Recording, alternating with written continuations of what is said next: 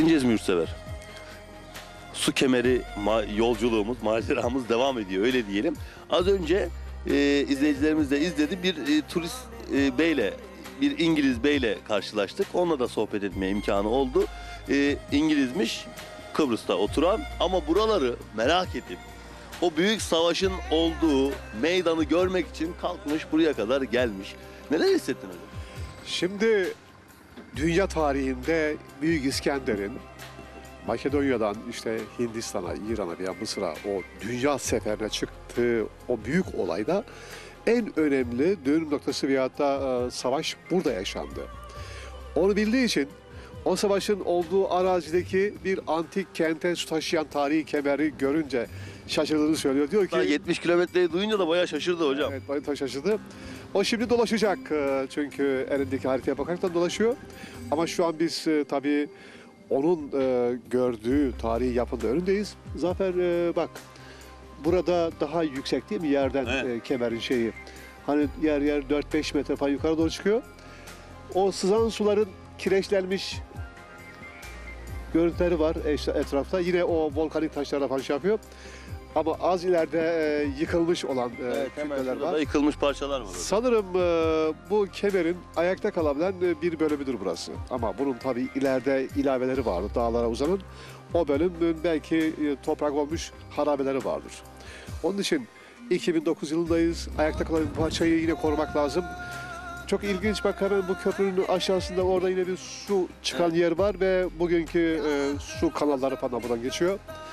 Evet e, yani doğa şartları insanoğlunun binlerce yıldan beri buradaki ekonomik gelişmeyi sağlamak için yapmış olduğu uğraşının yansımalarıdır bunlar. Bölgemiz tarihinin de en önemli tanığıdır bu su kanalları. Peki hocam buralar e, bir koruma altında mıdır? Yani bir sit alanı mıdır? Burası koruma altında. Şimdi bu su kemerlerinin e, biliyorsun son 100 yıldan beri bütün dünyanın ilgisi buraya var. Bundan e, 100 yılı aşkın bir zaman önce bende bir fotoğraf koleksiyonu var. 1905'te bir İngiliz seyahat geçerken çekmiş. O zaman daha sağlam ayakta gözüküyor.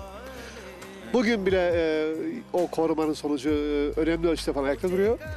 Ama tabii üzüldüm. Şu aşağı önümüzdeki bölüm çökmüş. e, orası tam tahrip olmuş.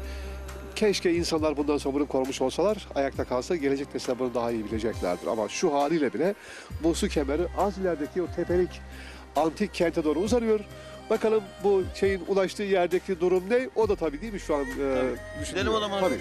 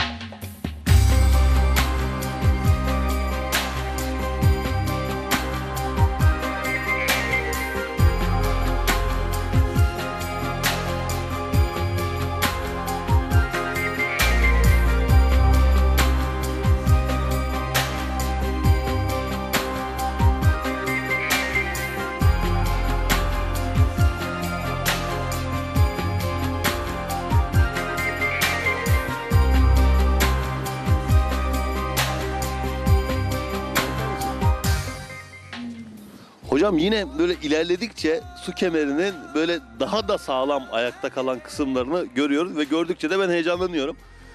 Ee, değişik bir yapı da var değil mi hocam? Evet, e, mimar önce ayağını oturtmuş bak. e, sanki kare şeklinde. O siyah volkanik taşları kesiyor blok blok. Alttan yukarı doğru işte yaklaşık 2-2,5 metre gibi yükseltmiş. Onun üzerine kemer oturtmuş yani. Evet. Ee, ayakları sağlam bir zemine e, yerleştiriyor. Bir müddet yükseltiyor. Sonra kemeri üzerine falan koyuyor. Bak dikkat edersen e, ileride yükseklik e, aşağı, e, azdı ama burada daha yüksek. Yani sanki 4-5 metre yukarı bana doğru çıkıyor. Suyun kaynağından aldığı zaman Arazinin de A- eğimine göre. eğimine göre tabii onu hesaplayaraktan tamam mı? Suyun ulaşacağı mekan antik kente doğru hiç engelle karşılaşmaması için veya hızlı akması için her şeyi düşünmüş ama öncelikle yüksekten alçağa doğru eğimini düşünmüş galiba Evet. değil mi? Ee, Yani hocam hemen önümüzde de akan bir e, dere var. E, ha hani buraya geldiği zaman zaten şimdi bak o ayak buraya geliyor. Buradan yukarıya bir e, yine köprüyle hemen atlayıp karşıya geçiyor. evet. Oradaki tepede de bu kemerin ulaştığı antik kent var. Yani orada düşün işte e, sarayları, villaları, bağları, bahçeleri, hükümet binası falan. O zamanki antik kentin özelliği bu. Oradaki kente ulaşıyor. Ha, Tepelik yeri höyük demektir. İşte bu kemerin öyküsü gelen suyu önce oradaki antik kente dağıtıyor. Sonra tabii dediğim gibi bu sistem o kadar mükemmel ki buradan gidiyor gidiyor ta Ayas'a ulaşıyor deniz kıyısına. Yani hocam gerçekten çok önemli. Ee, bu köprüyü geçtikten sonra yani bu dereyi geçtikten sonra o tarafa geçmiyor. O parçalar da birazcık böyle e, işte yarısı ayakta kalmış, yarısı kalmamış gibi ama şimdi düşündüğümüz zaman gerçekten 2000 yıl 2000 yıl önce böyle bir mühendisliği, böyle bir teknolojiyi düşünüp onu hayal edip onu çizimlerini yapıp belki de ve e, kaç bin işçi çalışmıştır hocam. Aa, çok çalışmıştır. Ee, Şimdi Toros Dağları'ndan en iyi kereste oradan alınıyor. Kervanlarla buraya getiriliyor. Ameller geliyor. İşte kazma gibi çalışanlar var. Taş işçileri var değil mi? Tabii. Onlara verilen günlük ücretler var. Ee, Onların barınması söz konusu. Ama tabii en önemlisi buradaki antik kentteki insanların rahat etmesi söz konusu. O karlı dağlardaki suyu al, sen getir bu ovadaki kente dağıt. Kilometrece uzunluğunda bir motor yok, elektrik yok. Tabii. Ama insanoğlu işte bilgisiyle veya taşlarla işte yontaraktan veya o gün... Ama hocam işte su hayattır. Evet. Su hayat olduğu için de o suya ulaşmak için de her şey herkes elinden gelen her şeyi yapıyor. Değil mi hocam?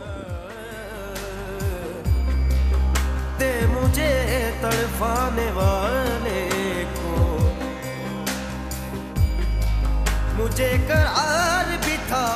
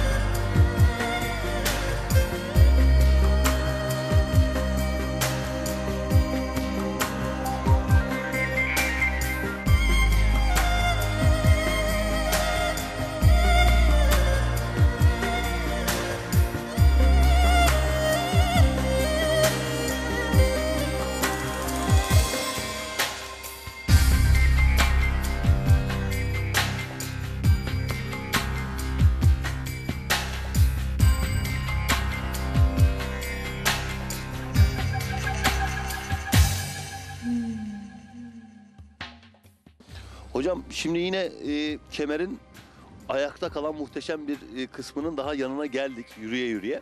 Gerçekten muhteşem bir kemer hikayesi dinleyecek bugün izleyicilerimiz. Ama e, hemen e, kemerin önündeki tarlanın da içerisindeyiz. Burada da çok farklı cere parçaları var. Ne diyorsun hocam? Şimdi bu kemerin buraya kadar gelen bölümü ilerideki bir tepeye ulaşıyor. O tepe Höyük. Evet. Şehrin merkezi orada. Ancak o tepenin eteğindeki bu tarlada da her tarafta cere kırıkları var. Bak mesela şimdi şu değil mi? o zamanki bir e, çömlek parçası.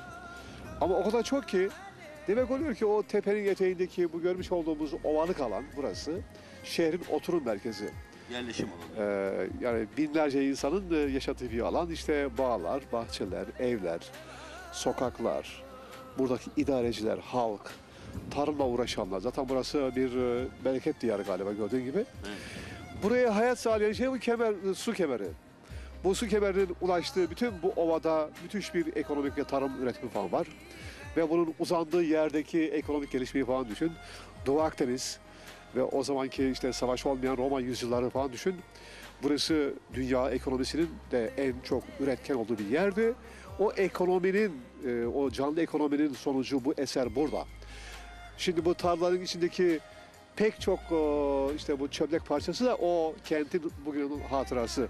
Kim bilir bu kazmayı küreği alsak, bu tepeye şimdi destek e, sanırım bazı yerde paralar çıkacaktır. O eski antik paralar. Yer yer e, mozaikler çıkacaktır. İşte taş duvarlar çıkacaktır ama Peki- şu an göremiyoruz. Peki Onlar hocam çıkacaktır. bu- buralara peki kapsamlı bir kazı çalışması yapılsa e, buralarda antik değerini ka- değerini bulmaz mı? Değerine kavuşmaz mı? E, bulmaz olur mu?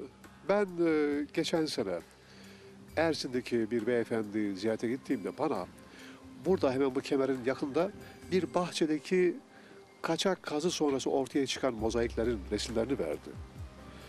O kadar muhteşem ki yani hayvan figürleri var, insanlar var. Oradaki o mozaikleri yapan ressamın veya da ustanın ne kadar başarılı olduğunu görüyorsunuz. O zamanki bir kültürel eseri görüyorsunuz yani. O görükebilen ama görükmeyen dediğim gibi bu tepenin her yerinde bak o kadar çok şey var ki taş parçası falan var ki bilinçli bir arkeolojik kazı yapılsa bu antik kentin dediğim gibi o toprak altında kalan zenginliği çıkacaktır. Kim bilir neler çıkacaktır. Hocam o zaman biz e, yolculuğumuza devam edelim. Bakalım karşımıza daha neler çıkacak. Gidelim hocam. मौत मुझको गवारा है लेकिन क्या करूं दम निकलता नहीं है दिल में दर्द बन कर आने वाले जमाने भर की रात दे मुझे तड़फाने वाले को। मेरी मैयत पे करे आने वाले को। डाल दो अपने आंचल का टुकड़ा। दे मुझे तड़फाने वाले मुझे करार भी था नया चल का टुकड़ा